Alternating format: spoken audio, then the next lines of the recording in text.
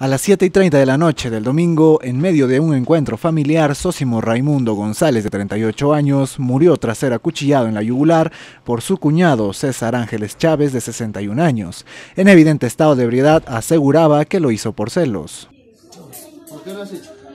¿Por qué? Porque venganza. Venganza. Venganza, pues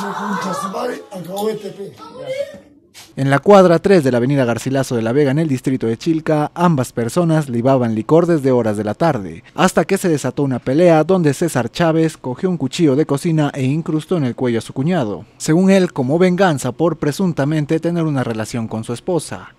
Los menores hijos de 10 y 11 años de la víctima encontraron esta escena en el segundo piso de su vivienda, comunicándose inmediatamente con los serenos de Chilca. Donde en el punto nos mencionaron que un sujeto eh, en estado de ebriedad estaba sangrando. Al momento de llegar, encontramos en el punto a un sujeto que había sido acuchillado por su cuñado. Bueno, llegando al punto, tratamos de comunicarnos con la compañía de bomberos y el SAMU, llegando a la compañía de bomberos donde mencionan de que el sujeto había fallecido y el otro sujeto se le trasladó a la comisaría para las investigaciones del caso. Asimismo, se comunicó del caso al Ministerio Público para el levantamiento del cadáver. Horas después fue trasladado a la morgue de Hualguas, mientras que el presunto homicida fue derivado a la comisaría del distrito. Para mí, venganza. ¿Por qué? ¿Qué, qué te ha hecho? Porque me fue mi mujer infiel.